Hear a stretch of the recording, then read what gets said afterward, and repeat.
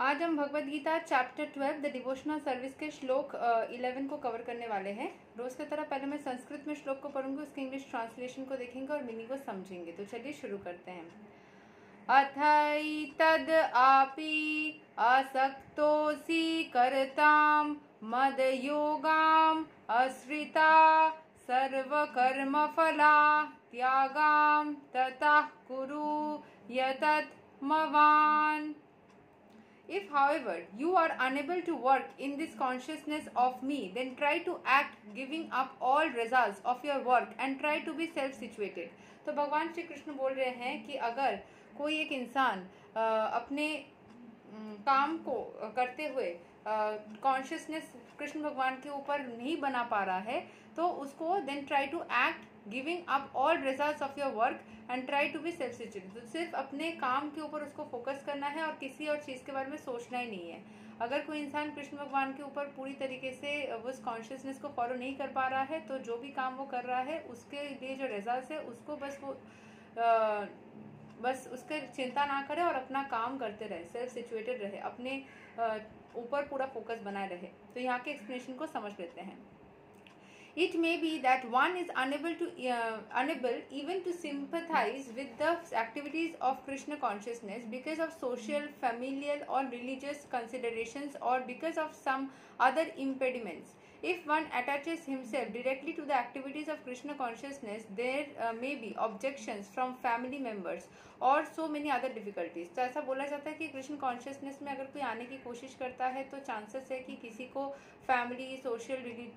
या कि, किसी न किसी तरीके से कुछ बाधाएँ आए। अगर वो भगवान के साथ में खुद को अटैच करने की कोशिश करता है तो कुछ ऑब्जेक्शन आए ऐसा चांसेस है। For one who has such a problem it is advise that he sacrifice the accumulated result of his activities to some good cause तो जितने भी सारे उसके एक्टिविटीज़ वो करना चाहता है किसी अच्छे काम में वो अगर लगा सके तो वो कंसिडर किया जाता है कि जितने भी तुमने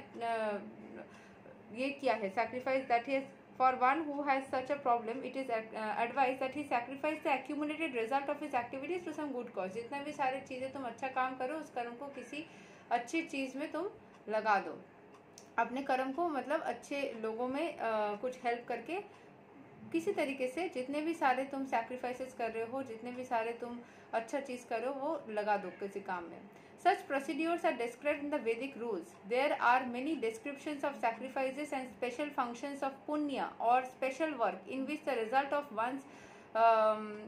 previous action में भी अप्लाइड मतलब जितने भी हमने अच्छे काम किए, जैसे मैंने किया था फॉर एग्ज़ाम्पल जितने भी सारे मैंने uh, पूजा किया था, पूजा पाठ किया था उसको शादी को लेके बहुत पूजा पाठ किया था। मुझे लग रहा था कि वो मेरे लिए काम नहीं कर रहा था, क्योंकि मैंने किसी पार्टनर के लिए ट्राई किया था, वो पार्टनर किसी और के साथ में शादी करके चला गया। तो मैंने फिर क्या किया, मैंने कर्म दान कर दिया। जैसे कि मेरे कर्म का फल किसी और को मिले, जो पुण्य हो, वो किसी और को मिल जाए। भगवान को जिसको लगे कि देना चाहते हैं, वो भगवान को सबमिट कर दिया वापस ही। तो ये ऐसे काम अगर हम करते हैं तो हमारी ज़िंदगी में और भी ज़्यादा, एक पुण्य को दान करने से every action Newton third law बोला जाता है every action has equal opposite reaction जो भी हम काम करेंगे, वो सामने वाले जगह पे वो जाएगा और वो रिपोकेशन होके आएगा। तो खराब किया तो खराब आएगा। अगर आपने पुण्य कमाए और उस पुण्य को भगवान के चरण में दान कर दिया, किसी इंसान को वो दान कर दिया कि कोई भूखा मर रहा है तो हमको खाना मिला है, हमने उसको दान कर दिया। तो हमें जो भी फल मिलता है, वो फल अगर हम किसी और को दान कर देते तो उसका डबल हमें, हमारे पास में कहीं ना कहीं से आता है। Thus one may gradually become elevated to the state of knowledge it is also found that when one who is not even interested in the activities of Krishna consciousness gives charity to some hospital or some other social institution he gives up the hard earn result of his activities that is also recommended here because by the practice of giving up the fruits of one activity जो भी फल मिला है, पैसा तुमने earn किया है, तुम्हारा फल है, वो तुम किसी को भलाई के लिए दान कर रहे हो। अगर हम ऐसा काम करते हैं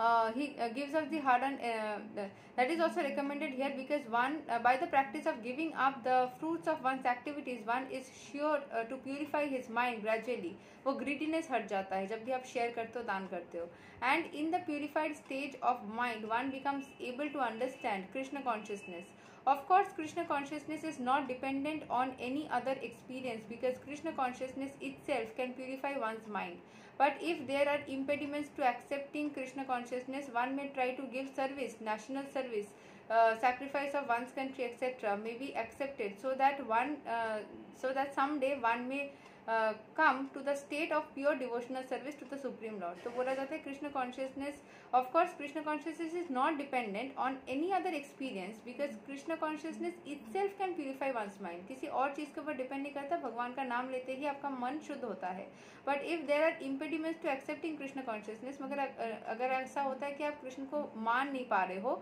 then one may try to give the result of his action तब आप दूसरे जगह पे दान करके खुद के मन की शुद्धि कर सकते हो, क्योंकि उस काम में, भले काम में भी भगवान का एनर्जी बना, बन जाता है। In that respect social service community service national service ये सब किसी न किसी तरीके से किसी को मदद करना, किसी तरीके से सर्विस करना भी devotional service of the lord होते हैं, क्योंकि कर्ण कर्ण में भगवान होते हैं, उन सब में भी भगवान है। In Bhagavad Gita 18.46 we find it is stated यता pravrittir If one decides to sacrifice for the supreme cause, even if he does not know that the supreme cause is Krishna, he will come gradually to understand that Krishna is the supreme cause by the sacrificial uh, method. तो sacrifice करते करते वो समझ जाएगा कि uh, मतलब greediness हट जाएगा जो हमारा मेन उद्देश्य है। कृष्ण कॉन्शियसनेस करने करवाने का मेन उद्देश्य है कि डेस्परेशन ऑब्सेशन ग्रीडीनेस ये हट जाए। जैसे आप देने की भावना में आ जाओगे आपके अंदर की जो ग्रीडीनेस है जो नेगेटिविटी है वो हट जाएगी। यही तक है श्लोक number eleven of Bhagavad Gita chapter twelve दूसरे दिन हम श्लोक ट्वेल्व को कवर करेंगे। तब तक के लिए हरे कृष्णा राधे राधे जय श्री राम।